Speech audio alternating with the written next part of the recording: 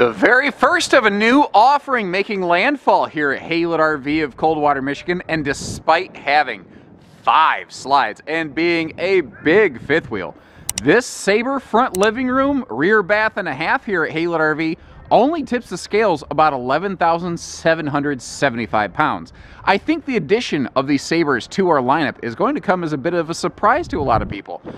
But hang with me here, because we have all kinds of different brands of RVs here at Haylett RV. Like you can see them hanging around in the background, including additional Sabres coming in behind this apparently. Here's the thing though, we're really picky about our inventory, and when we see something we like, we get it. This is a smart product. It gives you all the big fifth wheel feel and feature without the big fifth wheel budget, and that's a smart series of qualities. So travel access in front living rooms is one of those things that is not always readily available, and I think they did pretty well here. So you see you got your seating space up here. You can walk, you know, past the theater seating to get up to those chairs. And that'll give you a place if you want to. You could sit down, grab a bite to eat there. Um, as we uh, back up a little bit, we'll go right past our, uh, you know, uh, control panel here, the one control system, which is great for all sorts of phone wireless integration. We'll talk about that later. But you notice you can access the refrigerator here, and we do like to build these. Uh, we are, I've been told, very uncommon in terms of Sabre dealers building these with the larger more expensive but larger four door gas electric fridge here so that you always have an automatic backup. You have uh, you know potential travel functionality out of it. Um, not to mention just better service records than a residential electric only fridge which is something we're very sensitive to here at Haylett RV you also notice you, you don't just like if you do stop and make a sandwich or something you don't have to go up and eat it on the uh, theater seats. You do still have half of the dinette available to you. So um, in terms of you know travel accessibility is it necessarily like max capacity travel accessible? No. But is in terms of front living rooms it's, it's actually pretty good. But here's the thing. If you bump that kitchen slide like you can almost squeeze past it right now but if you do bump the kitchen slide, that is all you need to be able to get to like the rear uh, bedroom and bathrooms and everything. So, you know, a quick little nudge uh, of that slide out with your phone is all it takes. Don't forget though that you have this sort of mini little camp convenience station out here. If you throw some ice packs in that fridge because those don't operate in transit, or if you bring yourself a little cooler, you could set some things in here, maybe some dry goods, you could have some chips on hand, something like that. It is still possible you could stop and have yourself a quick little bite to eat somewhere. And getting it all opened up, I wanted to begin by just kind of standing back at sort of like the bedroom door and giving you a nice look at everything. Uh, but we're going to begin right up front. It's a front living room. That's kind of one of the focal points of the RV, so it only makes sense to begin there naturally. Now, um, the idea behind these Sabres is not that there's necessarily anything earth-shattering or new. It's just clean, simple, good execution with a familiar floor plan without the astronomical budget. That's kind of the wheelhouse of this group right here. Um, now, if we take a look, you see that you have those roll down like uh, blackout zebra shades if you are so inclined. Since this is an extended member actually of the Cherokee group of RVs, uh, you find quite a few of those all the time here at Haylett RV of Coldwater, Michigan. You see you've got those dual opposing hide-a-beds, and that's the thing. If we start going through, you're going to see it just checks all the boxes. That's who Sabre is. They're a product that just checks the boxes. You're looking for big? Check. You're looking for affordable? Check. You're looking for plenty of space and sleeping, double air conditioners. By the way, both of these air conditioners are 30,000 or pardon me, 15,000 BTU air units. So you have a 30,000 BTU air system here, just like something like an Eagle, a Montana, a North Point, etc. Again, it just checks the boxes. Up front, we've got that electric heating fireplace. Check. Big TV straight across from that uh, heat massage theater seat. And they are excellent about including things like uh, outlets and USB plugs all over the place to make it a, uh, a very comfortable experience. Now, you've got a basic starter entertainment system here, but it is very expandable. Since you have this big countertop and those outlets, you could very easily put a little satellite system or something over there, or just plug a little streaming stick into that little multifunction uh, stereo. So, up front here, we've got all kinds of seating space. We've seen the sleeping, uh, plenty of, uh, you know, uh, comfort space for everybody. And then over here, this heat massage theater seat, it's nice that those, I, should have left one of those kicked out, that's my error. But if you're looking for more of a, a spacious love seat thing, maybe you're a little thicker in the hips or a bit of a fluffy folk, uh, you can simply take that middle pontoon style armrest out of there. And I like that little side stand with the household and USB plugs. Like I said, they're very good about loading this thing up with plenty of outlets. Now it is, well, what what's the height up here? It's about six and a half foot tall in this upper deck. So even a person like me, I can easily navigate my way through here. And one of the other things I like is that indirect lighting above the crown molding. When we're up high in the upper living room like this, it's very obvious. And during the day, it really does a nice job of lightening and brightening up this RV. Although the huge windows and excellent lighting package in here already does a pretty good job of that itself. So it never feels dark. It never feels claustrophobic. You've always got good views of everything. They've done a good job here. And then they'll include extra like spotlight kind of uh, windows up top, little skylight styles. That ceiling fan up top, excellent for getting some good airflow going. But still a couple nice touches, like the, the cool little uh, pendant lighting. Um, one of the questions I think that we're going to get is, okay, I like that, but what other decors are available? There are not other decors available. Sabres come this way. This is how they come. This is the way that they look. That is one of their cost control uh, measures is that they uh, they don't build stuff that looks two or three different ways. Now, I'm gonna break my normal pattern and I'm gonna jump over here into the slide and look at the dining seating next instead of doing that right before we go to the bedroom and bathroom just because I feel like doing something different today since today we have a different offering here at Haylett RV, and in a sense it kind of ties into the living room seating space. But you've got, you know, your, your normal hardwood table, four floating chairs. There's a little bit of storage below those chairs, but we have just, again, gobs of door side window coverage. And you just got excellent panoramic viewing with more of those roll down zebra style shades available to you. Um, over here though, something else I was very pleased about is that the uh, storage here in this kitchen, like it's a front living room, and a lot of times kitchens get left out. And this is a more price sensitive offering, so I almost suspected it would have not excellent kitchen storage. And I will say, I was very pleasantly surprised to see what it does have to offer, because it is pretty good.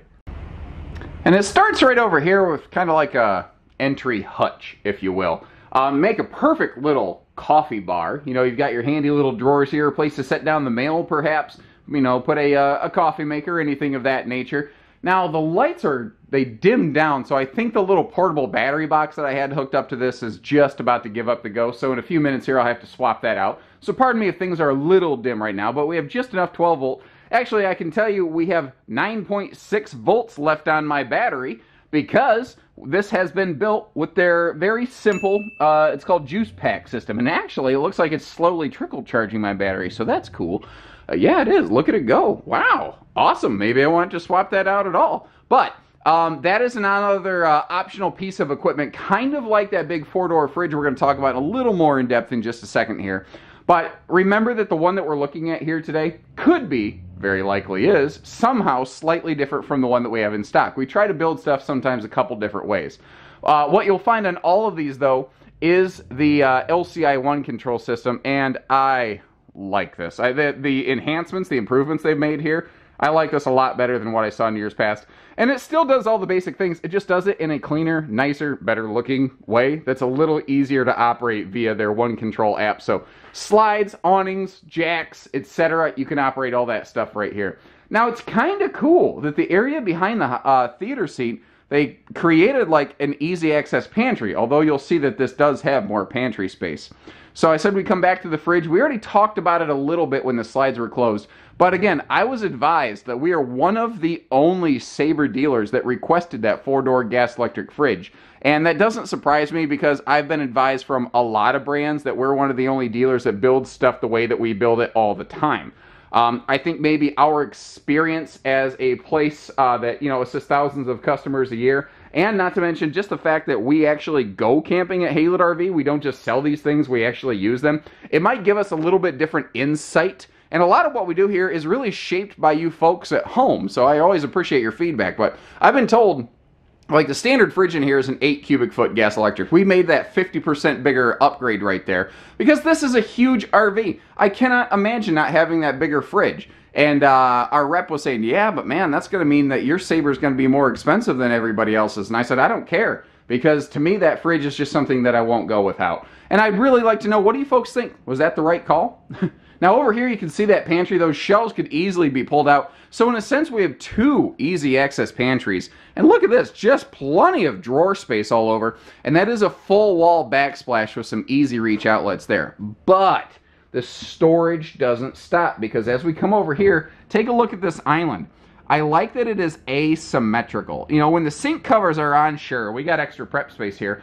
But when the sink covers are off, you see that you still maintain some prep space. Whereas a lot of times manufacturers will put the sink dead in the center of the island, which makes it really hard to use the island if the sink is in play, which won't be the case here.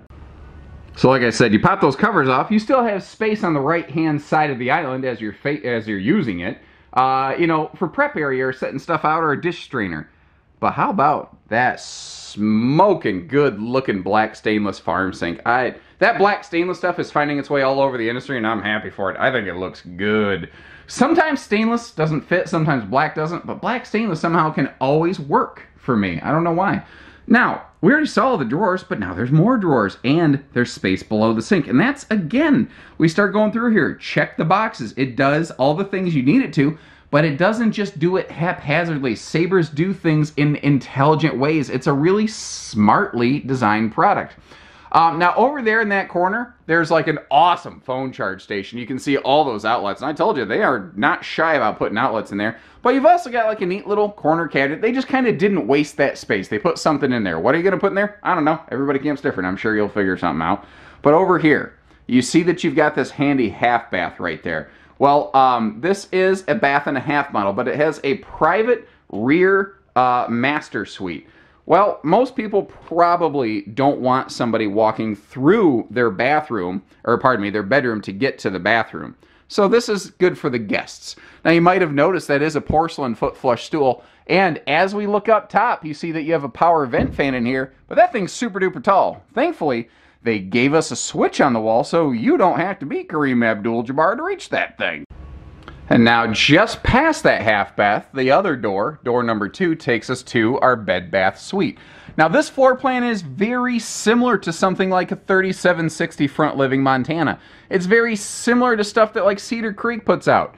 Now it's not an elevated upper rear living, but it still, again, checks all the boxes. We've got that big king bed. We've got plenty of headroom in here. Actually, in a sense, you, well, not in a sense, in a very literal sense, you have taller headroom in here and in the shower versus like a Montana or a Cedar Creek. And at thousands of less dollars, tens, I mean, tens of thousands less, guys. That's the thing. That's where these guys are so, so smart. And I love the slide accent wall when you get in here. Gives it a nice big feel. Cross breeze across your bed with those little corner stands for your phones. Both sides of the bed have outlets right next door, by the way. So that's a you know something that you can again check the box on. 70 by 80 king bed in here, you know, checks the box. And and I'm sorry if it sounds annoying that I keep saying that, but I mean that's who these guys are. That's what they do. They say what really matters. What really matters and they knock it out. Now there's still some pretty hardware like there on the bathroom. They'll still do uh, some, you know, just cosmetic eye candy features, but they never overdo anything. Space up here, if you want to go TV crazy, you got a nice big wide open area. You could add that thing there. And you see that we actually have some uh, pretty good bedroom storage as well, starting with these uh, kind of split, I guess you could say his and hers or mine and, and theirs kind of, you know, hanging storage. You'll also see we've got some good dresser space going on, plenty of drawers. They are not afraid to put drawers and outlets in these Sabres. That is a trend I've noticed.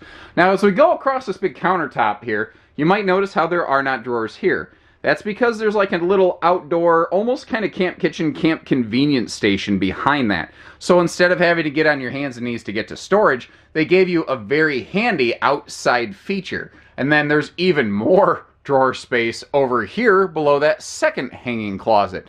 And again, it just gets the job done. Plus, of course, you've got that sliding privacy door here to, uh, for the master bathroom in the back. And right next to that door, we have another big chunk of storage. This is, most people are just going to use it for that purpose, just for storage. But you may uh, discern that this is capable of housing not just a combo, but a stackable washer dryer if you are so inclined. Obviously, we have some motion sense lighting, just like the main pantry. You've got a hanging rod up there, and what you could do, because these shelves are individually removable, you could leave that rod up. You could use the top section for hanging, uh, you know, clothing, and you could drop or like remove the bottom shelf and just do a combo washer dryer if you're so inclined.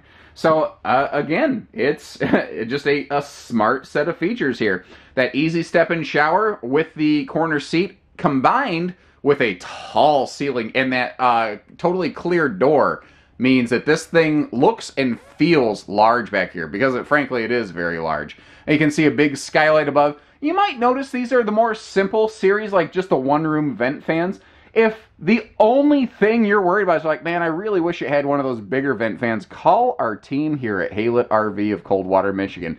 We can easily upgrade that to a larger uh, blade style fan if you're looking for that bigger airflow. Now you're going to get just a little bit look at my right hand there. I usually like to pretend I'm a vampire and I hide from mirrors, but there's just no way to do it in this one right here. The double lavatory, which is again one of those things that you'll find in those bigger high dollar fifth wheels you're still finding here. This is all sealed edge press membrane countertops, by the way. So if you do splash some water on those sinks, no big deal, guys.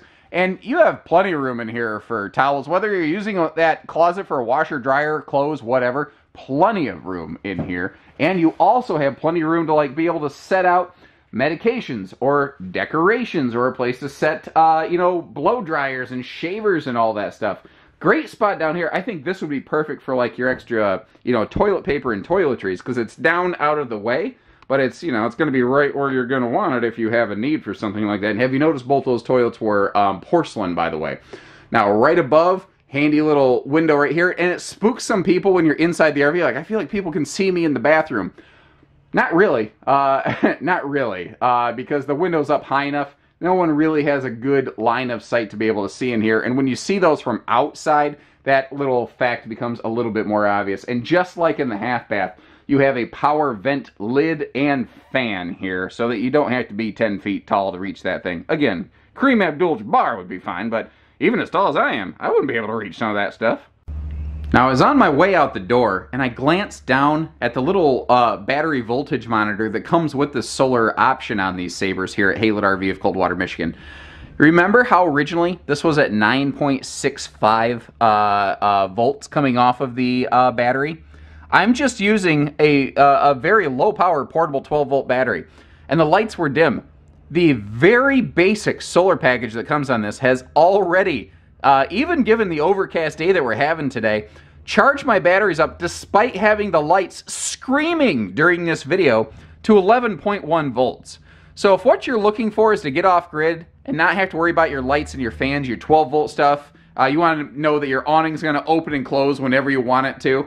This basic, inexpensive, but obviously effective solar package is something you're going to want on a Sabre RV, and that's why we put them on everything under the Cherokee family here at Haylett RV of Coldwater, Michigan. Hopping outside, front living rooms are not traditionally known for having awesome outside pass-through storage. And I'm not saying this is the size of like a Montana or North Point or Pinnacle pass-through, but uh, that's not bad. I mean, that's a pretty good amount of capacity there. You got your little outdoor TV hookups. Um, also, right by the entry door, we got our handy little pet leash latch slash bottle opener. And notice how those doors actually swing open and close instead of flip up. Because if they flipped up, you'd have to kind of duck to get to them. But when they swing like that, no big deal. The four-step stable step making it easy come and go, and that is an anti-slam door. So once again, we're checking boxes. Those things that really matter, those things that everybody's looking for, it's got them, you know, and it has them in spades. We've got the uh, automatic leveling system on here, you know, simple little side mount solar prep, and we've already discussed that it has a roof solar package on it, so we've obviously got the opportunity for roof solar on these. Um, and a nice, clean, simple looking exterior. Now, I want to address one thing. At the time of this filming, you see at the bottom of the nose cap, it says Cobalt. This is technically called the Sabre Cobalt series. I have a suspicion that Cobalt name is just going to phase off the product. They called it Cobalt just because in years past the graphics were blue. And they just went to a more neutral uh, color palette. And frankly, I think they're stronger for it. I think it just looks good. It looks uh, calm, collected, low key, conservative, but smart. The white skin that they have on these will organically reflect a lot of heat. And they have an excellent radiant barrier package. So, uh, in conjunction with the white skin, radiant barrier, and the dual 15,000 BTU airs up top, you're gonna stay plenty cool in the summertime on this thing. They are all, what's also smart is they're all pre-wired for two batteries, which is something that even if you're not a solar enthusiast, you will enjoy having that second battery on there, just the extra capacity. Now the uh, wind is kind of dancing this door like a sugar plum fairy over here for us, and behind it, as you would expect from most fifth wheels, we have our enclosed docking center and access to the other side of the pass-through. Now, the docking station, they could have gone very inexpensive here, but again, they're doing the right things in the right places. Like you can see how we have this galvanized rolled steel enclosure, outside shower right next to our sewer outlets, which is kind of a nice thing here. Just all kinds of simple, smart features. Now I'm going to take a little bit of a knee here. You can't see much. It's going to look basically like all other fifth wheels in the belly because it's pretty much like most other fifth wheels in the belly. We're enclosed, we're heated, we're a great extended season package here. So if what you're looking for is something that you're like, listen, I just want to get it to a park and I want to leave it and I want lots of space, but you know, I don't want to overpay for something I'm only going to use occasionally. I'm not necessarily full timing, although I don't see why you couldn't here. I, I just think this is a perfect brand for those qualities. Like most front living room fifth wheels, not a whole lot of action on the back side because everything's really happening up front. The back is really intended to be kind of quiet, low key. Plus, it's a rear bathroom, so you know there's not a whole lot of opportunity for like decorative windows or things. Um, the uh, they do include though standard a 300 pound accessory hitch on the back. So if you want to do things like add a bike rack, you've got the perfect spot to do that. And like most fifth wheels, we do have uh, a backup camera prep up there for us. That's pretty much standard issue features. I'm not going to belabor that point too much. Instead, I want to zip over here and take a look at our little outdoor camp kitchen convenience center. Now remember, we upgraded this one, and this is typically how we build them, though the one in stock could be a little different, with that larger refrigerator. Plus this fridge right here gives this thing over 15 cubic foot of cold storage. That is nothing to sneeze at. And at the dollars and cents that you get a Sabre, I don't know that you can really get more cold storage in this industry than that. We we maximized the fridge capacity on this thing right here. And again, I'd love to know what you think about that. Did we go? Did we overdo it? Uh, I, I, don't believe you can have too much fridge space, but there are rare times where maybe you don't. So I'd be curious to know what you folks think. Are we doing it right or not? And just like the um uh you know docking station. That's what I was looking for. We have that uh, galvanized rolled steel here next to a miniature stone cast sink. So even the little, I guess you call them tertiary, secondary features on this RV, they're still using a good material where it matters most. You have a little rail over here for a side mount uh, grill, or you might notice, uh, or, while using with that, there is a gas grill quick connect down below but you don't have to mount a grill to the side of this thing. If you want to free float a Blackstone or something like that nearby, nothing is stopping you from doing it. The point is, they gave you the ability to do those things.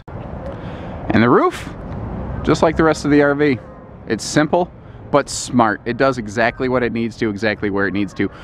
Pretty much everything on the roof is just polar white and that's going to help keep that sunshine out of there. You will still find though, it does have those uh, these little white hockey puck looking things. Those are vents to allow heat that builds up in the roof's attic to escape. So it's not boiling you from the hair down, especially when you're in that uh, upper uh, living room area. Now that right there, I, have mentioned the Juice Pack solar option, the very simple solar package that's available on these Sabres. It's something we put on all of them.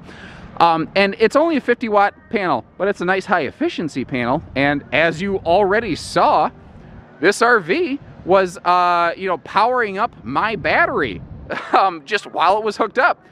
It's pretty cool. I really like what they have going on here. So if you like what you see here, let us know. And short of that, remember guys, we've only got right now over 700 different things for you to look at. Now, Father Christmas has blessed us with a little bit of Jack Frost, uh, you know, dressing all over this stuff. We got a little bit of that. Snow is a four-letter word, but it's a four-letter word, um, you know, in the RV industry.